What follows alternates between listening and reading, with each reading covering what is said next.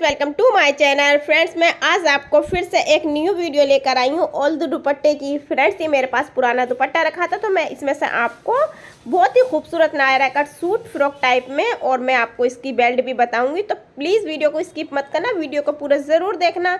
तो देखिए, इसकी जो कढ़ाई है, वो एक तरफ़ जा रही है. तो इसलिए हमने इसको इस तरीके से फोल्ड किया है. ये मैंने चार में दुपट्टे को फोल्ड कर लिया है और इसकी पहले हम लेंथ ले लेंगे. जितनी भी लेंथ आपको कम ज़्यादा करनी है, आप कर सकते हो. मैंने इसकी लेंथ तीस इंच ली है। तो फ्रेंड्स देखिए, साढ़े पाँच इंच के मैंने इसके शोल्डर के निशान लगाए हैं और साढ़े पाँच इंच मैंने इसके आर्म होल के निशान लगाए हैं। तो फ्रेंड्स यहाँ पर मैं चेस्ट के निशान लगा रही हूँ, साढ़े सात इंच के। तो फ्रेंड्स 12 इंच की हम इसकी कोटी रखेंगे तो ये टॉप पार्ट जो है हमारा वो 12 इंच का है। हम इस तरीके से 12 इंच के निशान लगा लेंगे। तो फ्रेंड्स, यहाँ पर हम पेटी का निशान लगा रहे हैं। पेटी मैंने ली है साढ़े छः इंच। आप अपने नाप के हिसाब से थोड़ा कम या ज़्यादा कर सकते हैं। यहाँ पर हमने दो इंच का मार्जिन का निशान लगा लिया है। तो फ्रेंड्स, अगर आपके पास भी कोई पुराना दुपट्टा पड़ा है तो आप इस तरीके से इसको यूज़ कर सकते हो। तो फ्रेंड्स, देखिए, हमें यहाँ पर इसमें प्लेट डालनी है चार इंच पर। तो मैंने ये निशान लगा लिया। यहाँ पर हमने आर्म होल की गोलाई कर दी है और तीरे को हमने, यानी कि शोल्डर को आधे इंच नीचे की तरफ़ हमने निशान लगाए हैं। अब हम मुठे की कटिंग कर देंगे, इसी तरीके से देखिए फ्रेंड्स मैं आपको बहुत ही सिंपल तरीका बताऊँगी। अगर आपके पास कोई भी दुपट्टा पुराना रखा है तो आप उसे यूज़ कर सकते हो। काफ़ी बार होता है कि दुपट्टा हैवी होने की वजह से हम ओढ़ नहीं पाते हैं और वो दुपट्टे हमारे रखे रह जाते हैं। तो दुपट्टे का भी आप यूज़ कर सकते हो और बहुत ही खूबसूरत आप ड्रेस बना सकते हो दुपट्टे में से। तो फ्रेंड्स ये देखिए हमारी कटिंग हो गई है। ये मैंने अंदर साइड कटिंग की है क्योंकि मैं यहाँ पर ये प्लेट डालूँगी इसमें, देखिए, इस तरीके से। ये मैं प्लेटेड कुर्ती बना रही हूँ।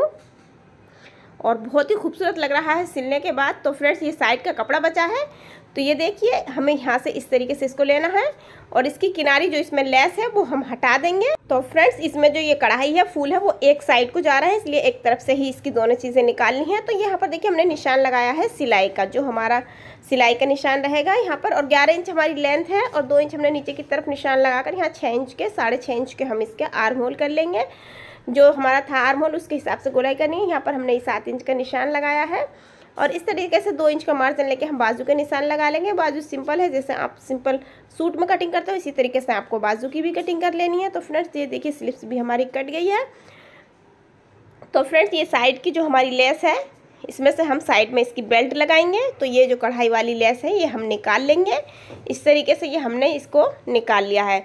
तो फ्रेंड्स, आप यूज़ कर सकते हो दुपट्टे को। आपके पास कोई भी पुराना दुपट्टा पड़ा है, ये हम साइड में इसकी बेल्ट लगाएँगे। तो फ्रेंड्स, देखिए, इसी के बराबर के हम इस और काट रहे हैं। तो फ्रेंड्स, ये देखिए, हमने दोनों काट लिए हैं। अब ये हम इसको, जो हमारी नीचे की पट्टी है, इसको इकसार करके निकाल लेंगे। तो फ्रेंड्स, ये देखिए, मैं बाजू में लगाऊँगी इसको। जो हमारा कढ़ाई वाला बॉर्डर है, वो हम बाजू में लगा लेंगे। तो ये देखिए हमने पट्टी कट कर ली है कढ़ाई के लिए, जो हमारी कढ़ाई वाली है।